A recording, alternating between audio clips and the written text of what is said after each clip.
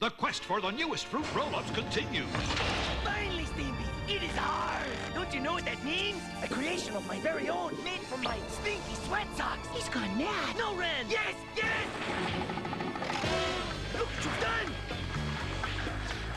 My plan's ruined. Idiots. It's new Nickelodeon Peel-Outs, Ren, Stimpy, Doug, and more. Nickelodeon characters now on fruit roll-ups. What fun fruit roll-ups will we roll out with next?